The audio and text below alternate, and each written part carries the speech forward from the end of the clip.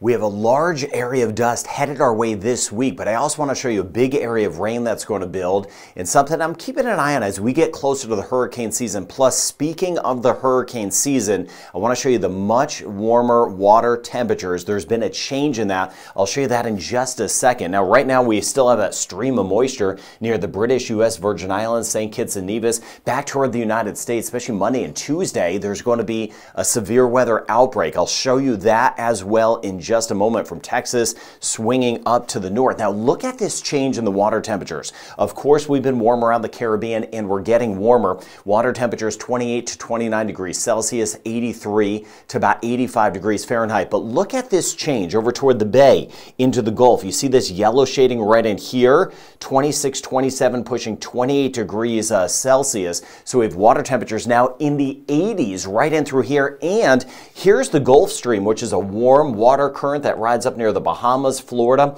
in the southeastern United States. You now see yellows with it. This is a sign of those ingredients for hurricanes as we get closer to the hurricane season that are building. You can see right in here, some of those water temperatures are running now in the uh, low 80s right off the coast of Florida near the northern Bahamas. So setting the stage for the potential of development down the road. This is how this goes. Not seeing any signs of that right now, but I do want to take you out on time here. So thank you for your patience. I want to swing you into May and show you what's next, and then I'll show you this big dust plume that's moving in. Eastern Pacific side, keeping an eye on this, the hurricane season starts here earlier, May 15th, because water temperatures are even warmer in the Eastern Pacific this time of year. Now, on Wednesday, we're going to see some of that rain building in the uh, Eastern Caribbean. But what I want to show you in a second is we're going to have this big dust plume moving in. It's going to squash some of that rain. I'll show you that in just a moment. But either way, as some of that rain develops, still these big fronts in the United States moving from west to east, and that grabs the moisture and kind of pushes it off toward the east. Now let's go way out in time here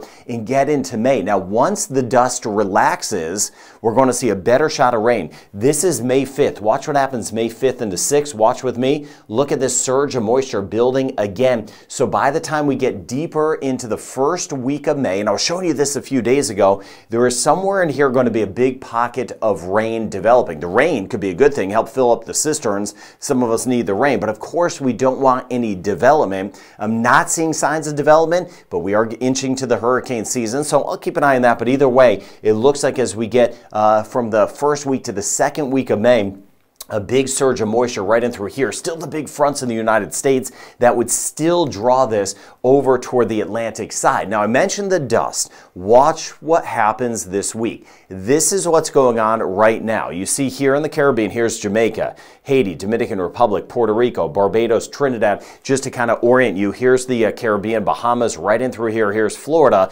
And you can see uh, some of these colors on the map, lots of colors. This orange and red shading in here, yellow shading, this is dry dry air. Similar colors here, but me uh, uh, studying this uh, knows that this is dust. This is not, this is dry air as well, but there is dust mixed into this batch here. Here's the coast of Africa. This is the big pocket of dust, biggest so far this year. There'll be more that moves across. Yes, it does play a wrinkle in the hurricane season. If we happen to get a lot of dust in July and August, it could limit the number of tropical storms and hurricanes, which would be a good thing. We'll wait and see kind of how that shakes out. But let me show it to you moving in. So here's the Caribbean. Here's kind of the uh, bigger pocket of dust right, that I just showed you, right in the central Atlantic, more coming off the coast of Africa. I'll show you why this happens in just a moment. So let's go out in time here. We're kind of waiting on a midweek. Now let's get into that as we work our way into Wednesday. That's when we're going to see some of that dust picking up in parts of the Caribbean. And with that, if you have any respiratory issues, any breathing issues anyway, uh, they could get worse. Any sinus issues as we get into midweek. So this here is Wednesday, and you see moving in from Dominica south into Venezuela. Trinidad, Guyana, Suriname, St. Vincent the Grenadines, Grenada, St. Lucia, Barbados. We'll see some of that dust moving in on Wednesday, right in through here. Now, let's go out in time further as we get toward the end of the week. This here would be by Friday. By Friday, we're going to see that dust stretching even toward Aruba, Curacao, Bonaire, parts of Colombia, Venezuela, again up toward uh, Dominica, watching near Guadeloupe and Martinique, and then another pocket of dust that may start to move in as we work our way into the following week. So Wednesday, uh, kind of onward into the upcoming weekend, higher concentrations of that Saharan dust out there. And then after all of that passes by, we will be watching out for May. That rain I showed you on the backside of it by the first to second week of May. That's what we'll be moving in next. Why does this dust move in? Well, it's the global trade winds. There's a general pattern of winds around the world. That's the same reason we get tropical waves coming off Africa. Why the dust? Well, there's some deserts over here. Uh, and then with the global trade winds, when it's really dry, some of that dust gets picked up in the atmosphere and works across. Same reason we have those fronts in the United States that generally move from the west to the east and they kind of get picked up up into the uh, North Atlantic. Now, later uh, into the summer, you get those pockets of thunderstorms with the daytime heating in Africa, and then we get those kind of marching across, those tropical waves that will march across instead of the dust. So it'll be a battle of those tropical waves versus the uh, dust as we get into hurricane season, and I'll be watching out for any development. Now, what we've been watching out for, I'll show you some rain totals and the building season just a moment, but we still have that moisture plume that has been around, watching out for some areas of rain near the U.S., British Virgin Islands, uh, over towards St. Kitts and Nevis, uh, Anguilla. We've seen some of that rain. Antigua, Barbuda, that chance of some showers as we go through the day. Some thunderstorms possible. Cuba, Jamaica, Haiti, back through the Turks and Caicos. Jamaica a couple days ago, we actually had a little bit of hail. That's ice way up above our heads. There's some cold air way up there, and that actually uh, got its way down to the uh, ground. Now, as we work our way into tomorrow, watching out for Costa Rica, Panama, Colombia for some additional rain. But as we get into Tuesday, some spotty areas of rain, some thunderstorms over toward the Dominican Republic may lead lead to some flooding in spots, but we do have to keep in mind we're going to be watching out for the dust at this point. By the time we get into Wednesday, Thursday, Friday, we'll be watching out for that dust plume that will be moving in. Now, on the north side of this, here's Bermuda, watching out for this rain as expected. That has been uh, moving in for a lot of us. A little bit of snow trying to mix in too, kind of clipping by Bermuda with a chance of some showers. This area starts to work our way, and then back to the west as you get over toward the United States late Monday, right in through here, deeper into Monday and Tuesday, looking out for a significant significant severe weather threat with some stronger storms, even a tornado threat into Tuesday. And we'll be seeing that uh, kind of this pattern that will go on into May with some significant systems rolling through the U.S. as that really spring into summertime pattern cranks up with some bigger storms up to the north of us. Now, the seas will be building some.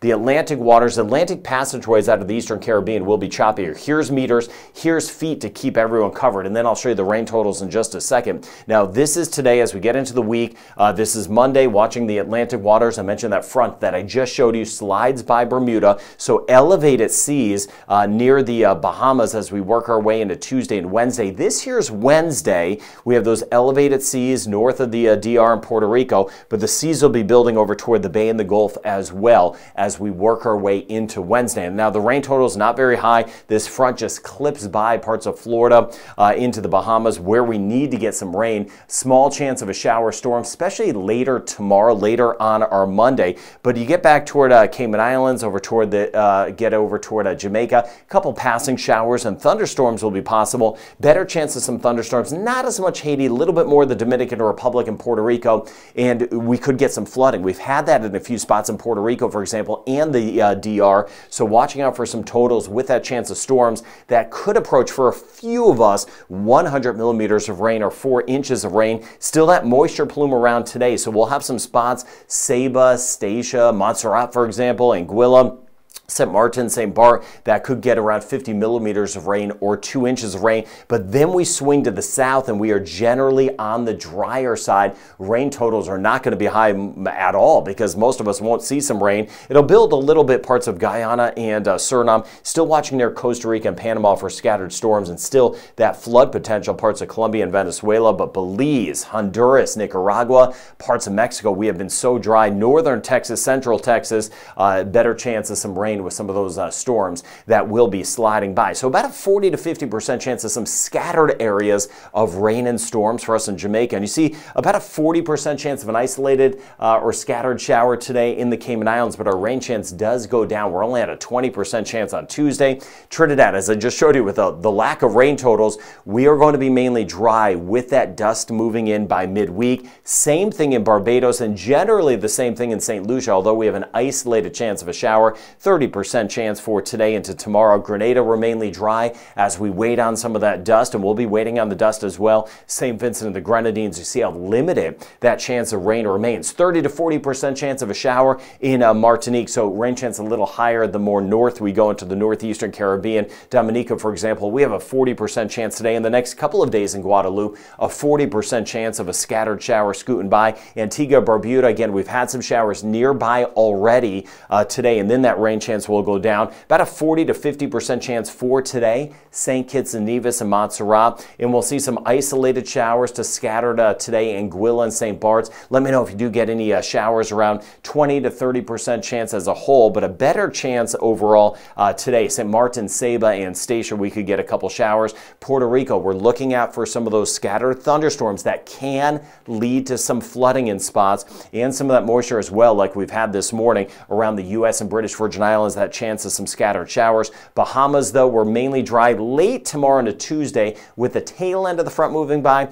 Slight chance of a shower with us. Turks and Caicos rain chance about 20 to 30 percent. We did have a couple showers around yesterday. Uh, the Dominican Republic, that's where we're looking at a better chance of thunderstorms and that better chance of flooding. 30 to 40 percent chance the next couple days as well as we work our way into Haiti. Belize, our rain chance stays low. There is a slight, uh, slightly better chance of a pop-up shower as we get into the week ahead. Aruba, we've had a couple showers nearby this morning. About a 20 to 30% chance Aruba, Curacao, and Bonaire. 40 to 50% chance in Guyana. A 60% chance of some rain today as we work our way into Suriname. It will drop off on Tuesday down to about a 40% chance in isolated thunderstorms the next three days in Cuba. Costa Rica and Panama, 40% chance today. Build some by Tuesday, up to about a 60% chance of rain. Nicaragua, the rain chance stays on the low side, staying on the low side overall in Honduras. There'll be a few showers around, but that rain chance is just not too high. Same thing, Guatemala and El Salvador, rain chance about 20%. Mainly dry in Mexico City today. By Tuesday, we could get a couple pop-up showers. Yucatan Peninsula, about a 30% chance of a passing shower for us uh, today. Campeche over toward Merida,